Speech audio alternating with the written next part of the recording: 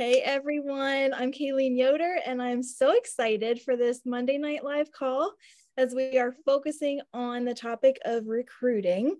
Um, and we have three amazing rock stars joining us tonight, and I'm excited to introduce them.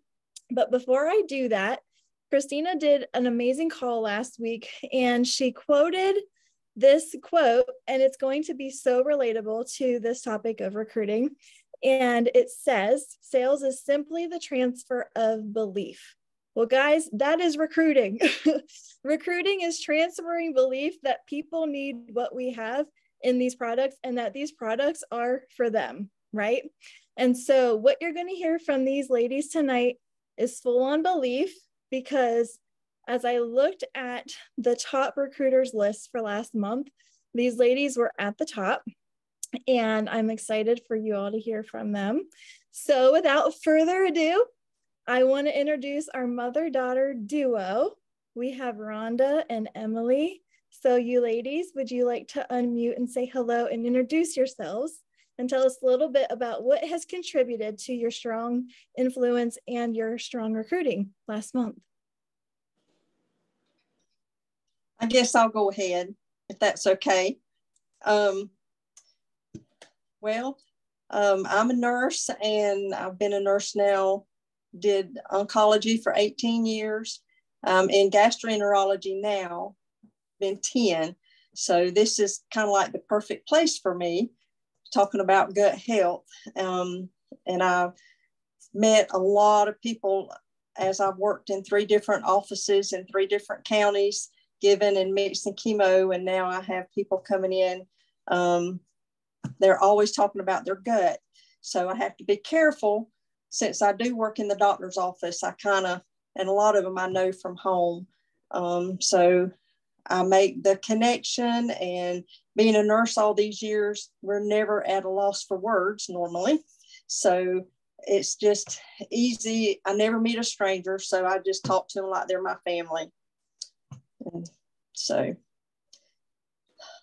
and I can tell y'all, I'm very much out of my comfort zone right now. So I'm very nervous. So y'all just overlook me. You're doing great. Well, thanks for sharing that. And Emily, would you like to introduce yourself also? Well, hey, um, I'm Emily Crews. Um, I know everybody's time is so valuable, so I really appreciate the opportunity uh, to talk tonight. Um, we have a big, big family. Um, Mama's been a nurse. Uh, she went, went to nursing school when I was in third grade. So whenever it was time for me to make a career choice, it was just kind of automatic. So that's the path that I went. So we have a lot of ties in the cattle industry, um, in the medical community. Um, just Mama and them played softball. I was kind of raised in around the softball fields. Um, so we have you know, a lot of contacts there as well. Um, but I've been nursing for 13 years. I've done um, ER, SICU, hospice, um, med surg. So, like Mama was saying, it's super easy to drum up a conversation about, um, you know, well, you know what what problems kind of are you having or what prescriptions are you on? And let me tell you most people are not shy about their prescriptions. They are ready to tell you every prescription they take and who prescribed it and how long they've been taking it. So that's always a super easy conversation um, and you will just they'll tell you all the details I love your guys' network and I see how you have so many relationships in all of these different areas that you're connected in. So looks like you have strong rapport with those and people know that you care and they feel comfortable talking to you. I feel comfortable talking to you. I've never met you. So tell us a little bit about how long have you ladies been working your Plexus business and what is your current rank? Uh, my current rank is senior gold, which I just hit. Um, and I stalked Katie on Facebook for four months before, and she would send me messages. I would never respond. I'm just like those people we talk about. I never responded. And so after the fourth month, I said, you know what? Okay, I'm going to give it a try. So I called Katie and I said, hey, sign me up. What do I need to do? So she signed me up. And then, of course, they did the three way call with Emily Haas and Katie, and they were talking to me, and I'm like, yeah, yeah. I was walking around in the yard. They were talking, trying to get me about the opportunity. And I'm like, I'm not doing it. I don't want to sell. I don't want to do anything. I just want to do my own thing, see how it does before I ever try to get anybody else to do it. And so it went on. So I joined in September, actually Labor Day almost. And so I didn't make my first post till February. And I didn't tell any of my family too much that I was even doing it because I always do a little bit and then I quit. So anyway, this was easy for me to to stay with it. And so I made my first post and I had it made, but I didn't actually mash the button for almost four days. And so when I did, my phone blew up because I posted pictures and I was like, oh my gosh, I don't know what I'm doing. So I told Katie, I said, I am overwhelmed. I had people calling me, talking to my husband. I was like, oh my gosh, I had no idea. So that's kind of how I started the business. Just kind of, I had no idea it was going to turn out like it did. So, and it's just kind of snowballed from there. So, as somebody that said I would never do it, here I am. I love it. So exciting. It's a great journey. Okay, so you said you started sharing in, or you made a February. post in February, and mm-hmm. then July was just last month, and you had high recruitment last month. We'll talk about that in a minute, but that's five months, and you're still solidly recruiting. So everyone should be thinking a lot of questions right now, but I'll hand it over to Emily.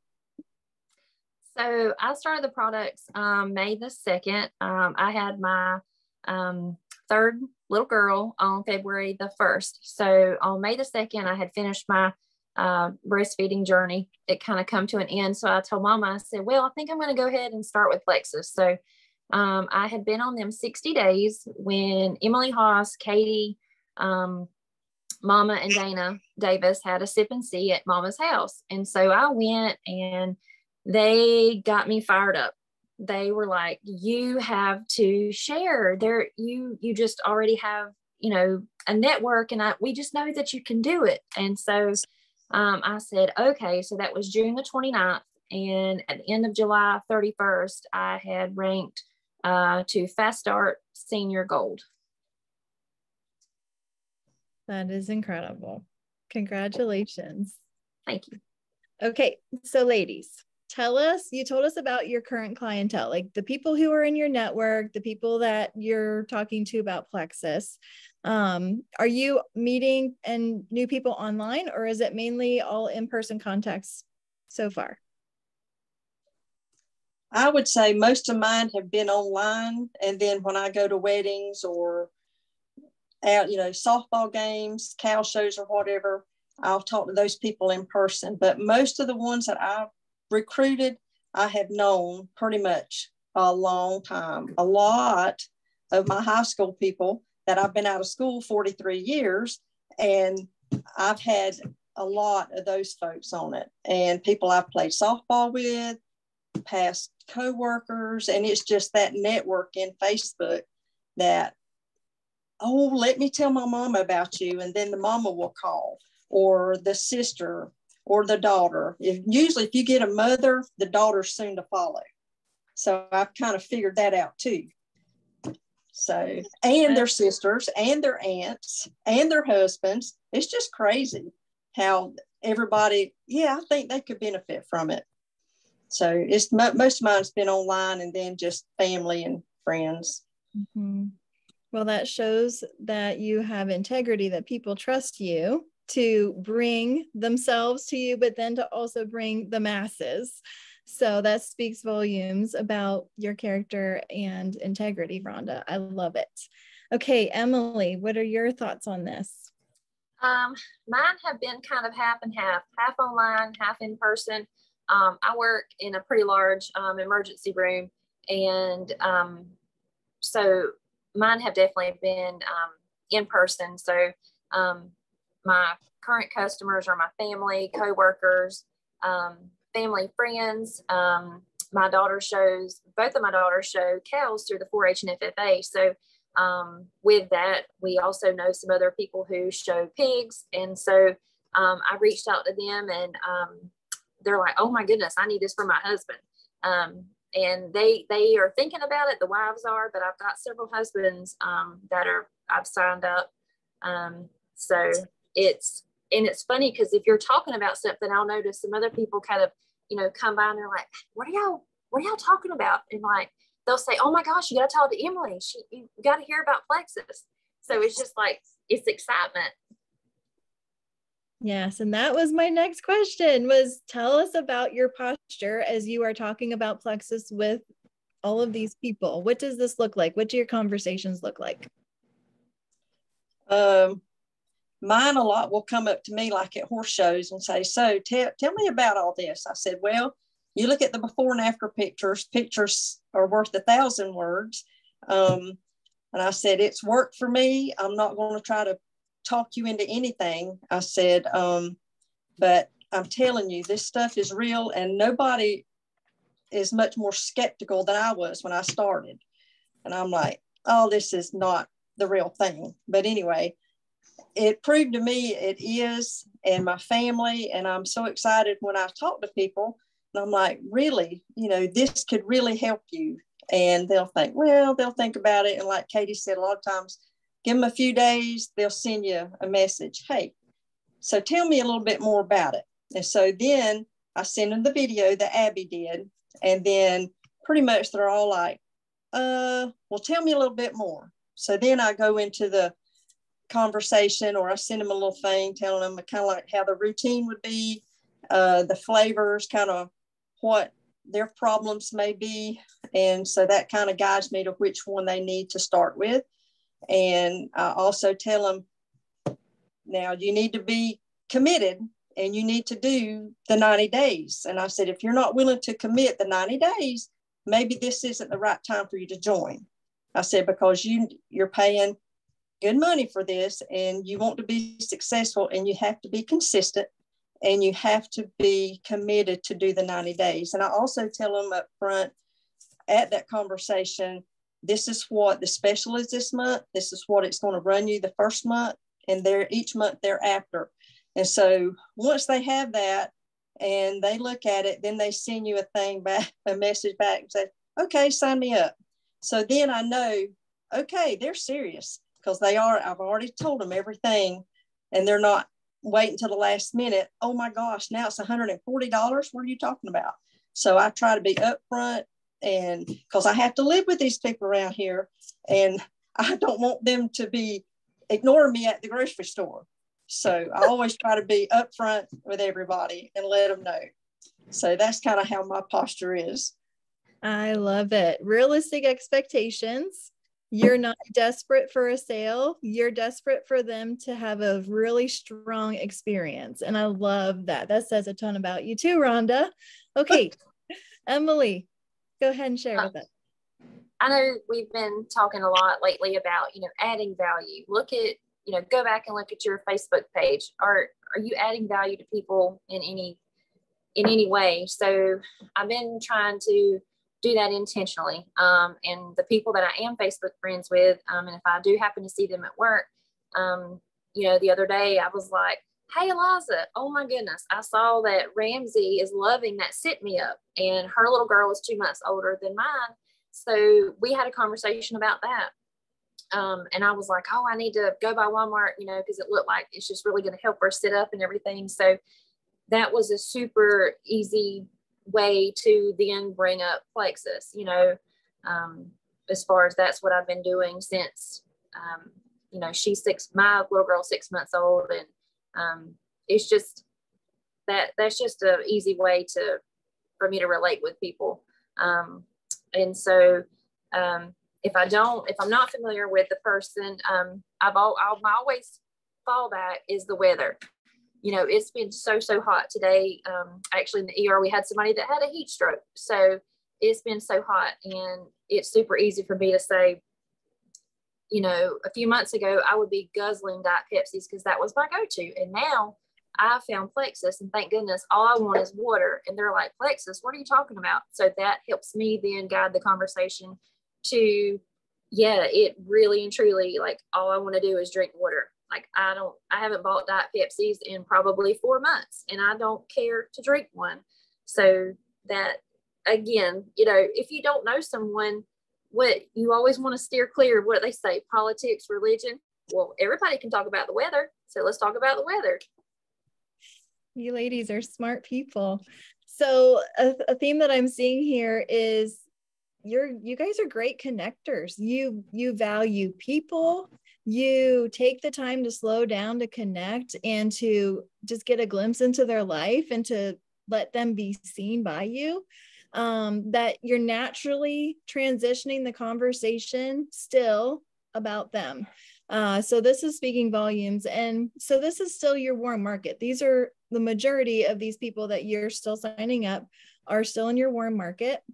Um, and so because of time, I'm going to bow out of our last question, but you ladies did fantastic. Thank you so much. And I think, I mean, anything that we can walk away from this is that just be genuinely you, genuinely care about people, and have that strong posture of, you know, knowing what these products can do for people.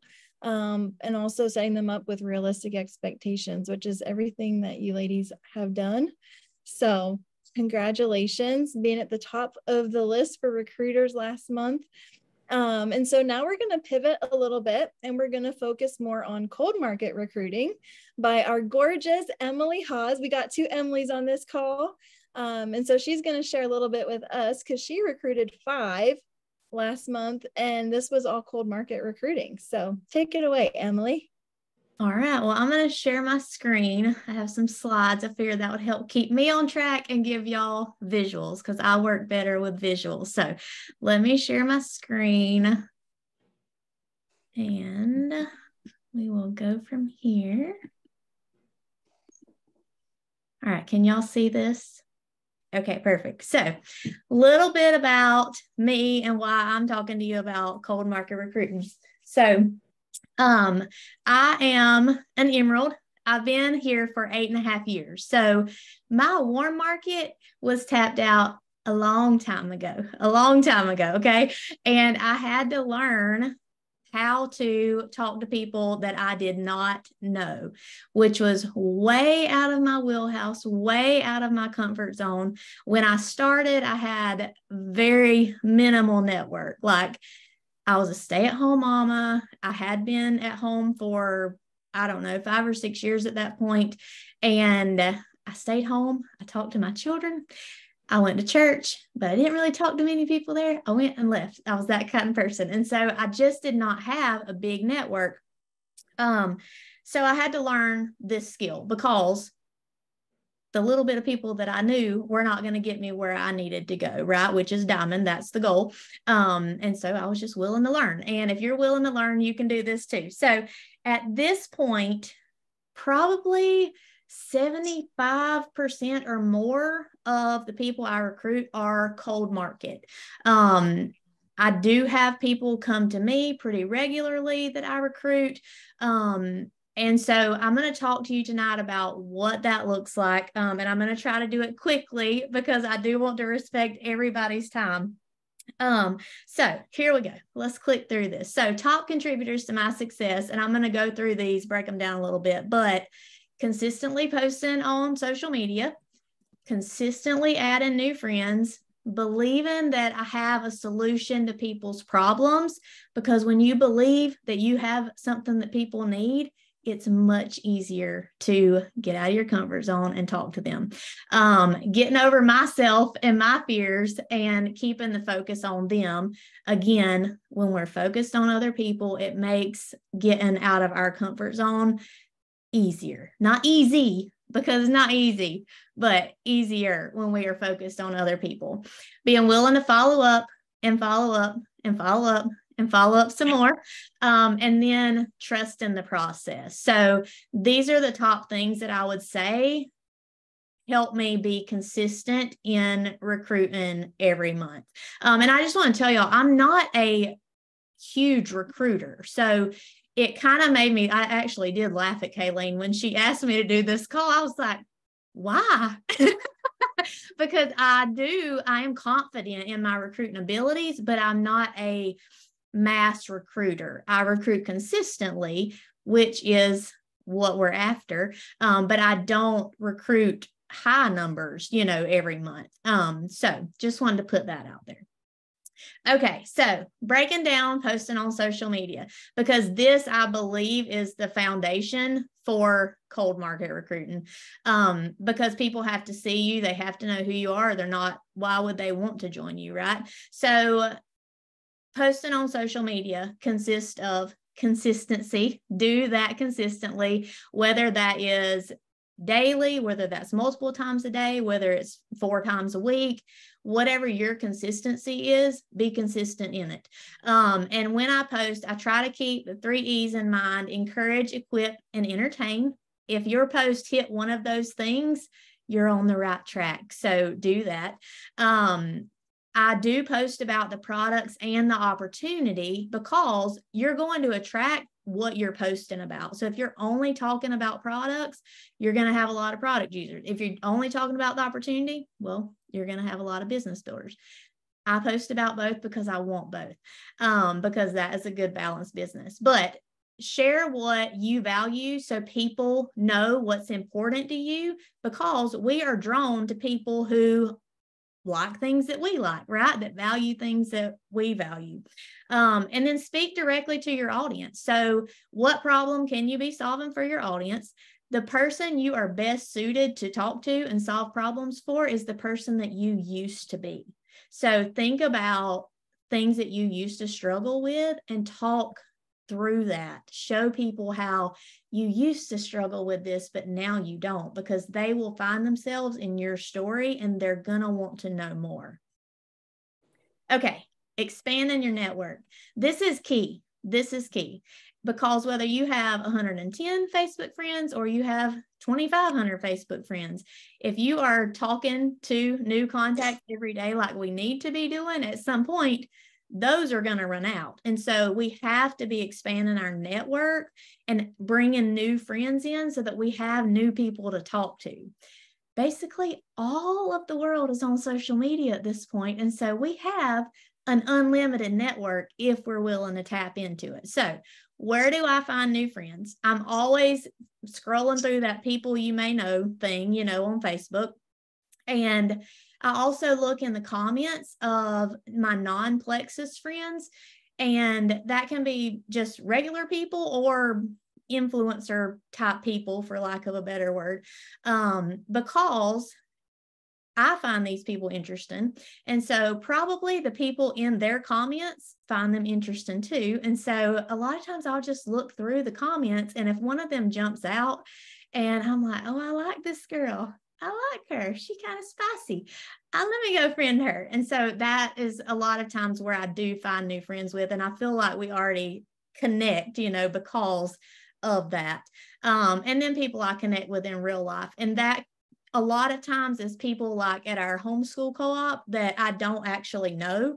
Um, I run the desk at our co-op, and so I see people coming through all the time, and I see names, but I don't know all of them. So I will go do some Facebook stalking and I will bring them into my network. That's how I find new friends. But how do I decide who to friend? This is a little different.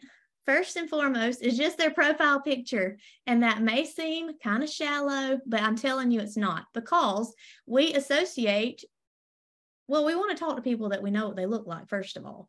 I'm telling y'all, if somebody has their dog or a sunset or a cup of coffee as their Facebook profile, I'm not friending them. I'm just not because I don't even know who they are. They may be, I don't know. I don't friend them. Your profile picture is very important, is the bottom line here. Um, but that's how I initially kind of choose my person. But then I will go to their page and ask myself some questions. I just scroll through a little bit. Um, how does it make me feel? Do I feel happy and sunshiny or do I feel depressed all of a sudden? If it's depressed all of a sudden, I'm gone. I don't need that. Okay. Um, I do want people who are generally bringing good energy. What are they posting about? Is it things that I like and enjoy? Um, because that's probably going to be my person. If it's a mama and she's got littles in smocked outfits and they're at Georgia football games, you can bet she's my new friend. Um, find people who like what you like. Um, do I think they'd be fun to hang out with? Do we share similar interests? Do I see things that I think would make them be successful here? Are they posting about growth mindset or having their habits handled and stuff like that? So, those are kind of the things that I look for when I'm working to expand my network, which should be also done consistently. I think you'll notice a theme here. Okay, so Kaylene asked me, how do I build rapport with these people? Because I don't know them from anybody, right?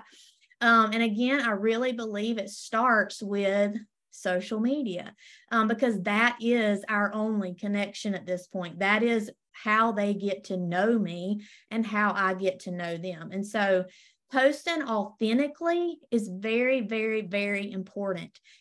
If I'm just doing a bunch of copy paste stuff that is not me. It does not sound like how I talk.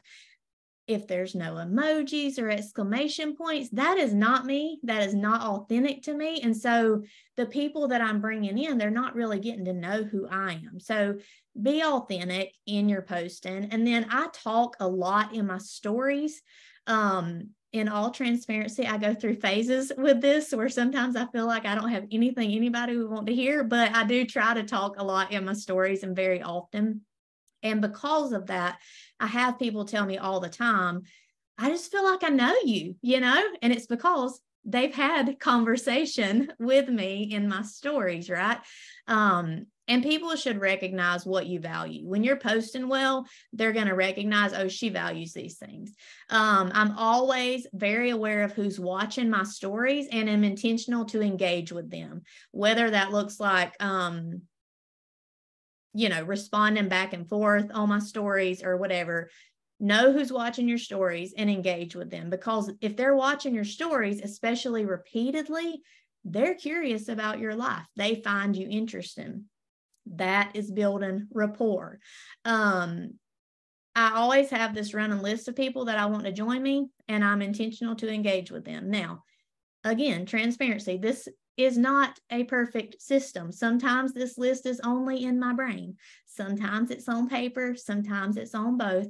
Um, you don't have to have a perfect system. What you have to do is be willing to take action on your system. Okay. This quote right here is really the key. You can make more friends in two months by becoming interested in other people than you can in two years by getting other people interested in you.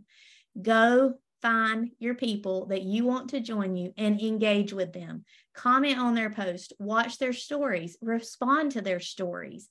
Get just show them, oh, you just went to on vacation to Disney World, I love that. I want to know more about that. You know, be interested in what they're doing and what their life is.